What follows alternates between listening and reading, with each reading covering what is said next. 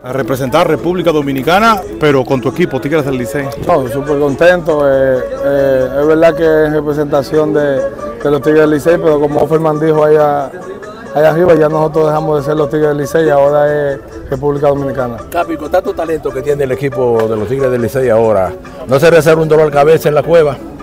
Eh, yo, creo, yo creo que no, porque aquí todo el mundo sabe, sabe su rol y, y sabe a cuál es la meta de nosotros, que, que ganar y, y las elecciones que, que se hicieron fue para formar buen equipo.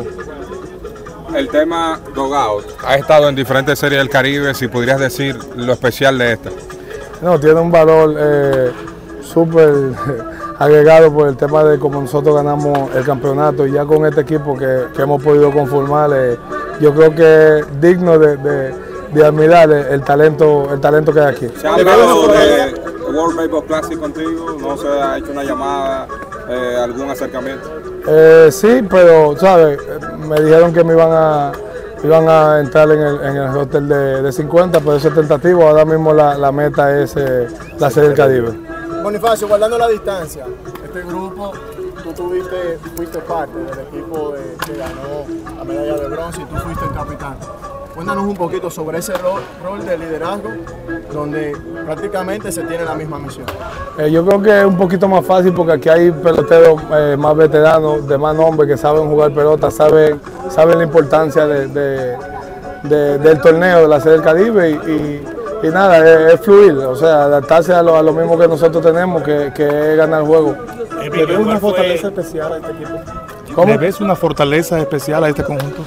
Yo creo que con nombre no se gana, pero los otros equipos que ven el, el line y, y la rotación de nosotros y todo el equipo en general eh, saben que, que tienen que jugar pelota, no hay nada escrito, los partidos se ganan, se ganan en el terreno, pero entre lo que la chava y viene, el equipo está bien conformado. Emilio, ¿alguna palabra de capitán que, que hayas compartido con ese grupo nuevo que, que se integra al equipo?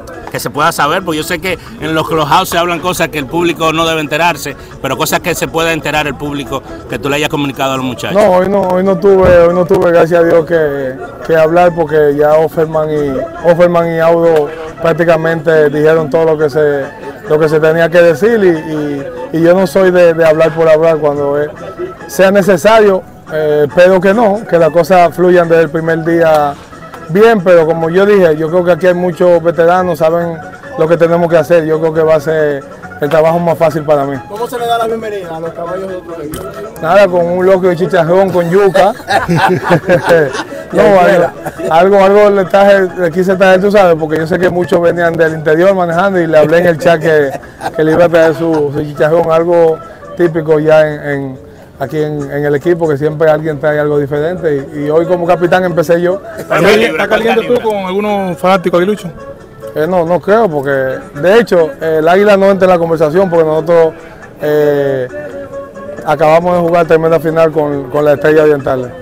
Emilio, eh, Jamaico Navarro, fuiste compañero de él eh, hace unos años atrás en el Licey, fue cambiado de los toros, ahora está aquí formando parte del equipo dominicano. ¿Cómo evalúas la integración de Jamaico Navarro aquí al equipo?